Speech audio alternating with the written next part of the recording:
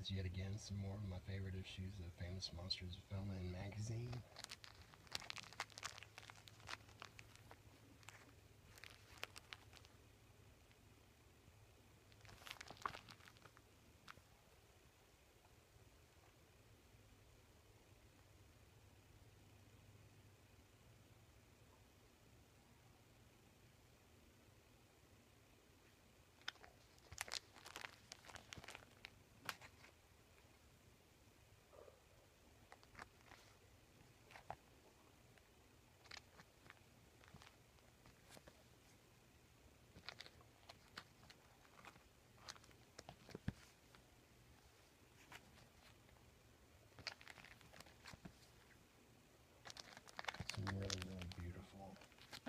Issues here.